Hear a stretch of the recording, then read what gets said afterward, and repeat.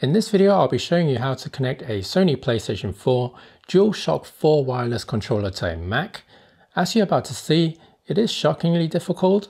After that, I will give you a brief pros and cons using this uh, gaming controller and show you some emulators that I have used and had success with.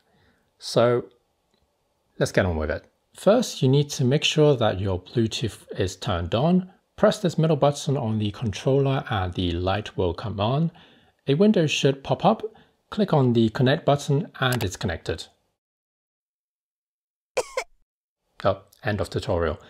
Whilst we're at it, if you want, you can right click on the list and rename it to anything you want.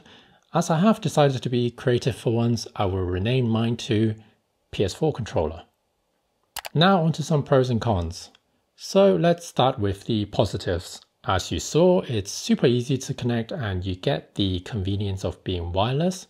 Whether you like the PS4 controller or not, it's down to your preference.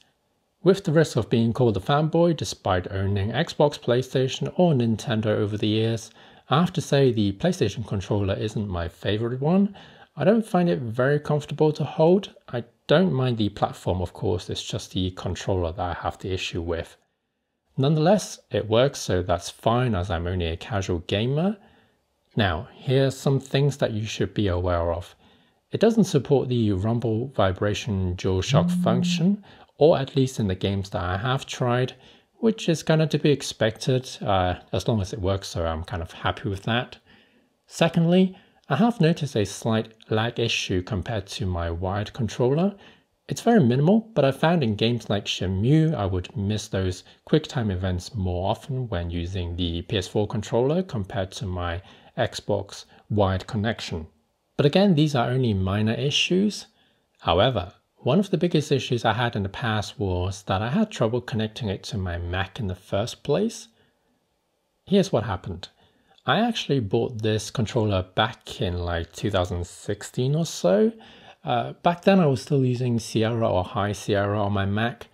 Despite reading online articles saying it would work, uh, that's why I bought it in the first place, even though I don't own a PS4. I never managed to get it to uh, stay connected reliably. It would always like disconnect for some reason.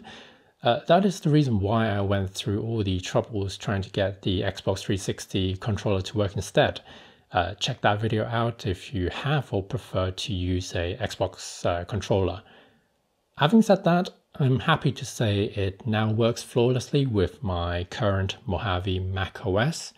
I have tested it with apps like Redream or OpenEmu and they work perfectly fine. In Redream, it works right out of the gate with no setup required. With OpenEmu, you have to select the controller in the drop-down menu within Preferences. As you can see, it's uh, identified it correctly. Just double check with your game setting if it doesn't work at first. And lastly, if you want to turn off the controller, just hold the um, middle button for 10 seconds.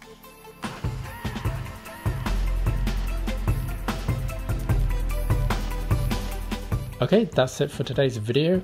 I hope you liked it and found it useful. My name is Joe. Thank you very much for watching as always, and I'll see you in the next one.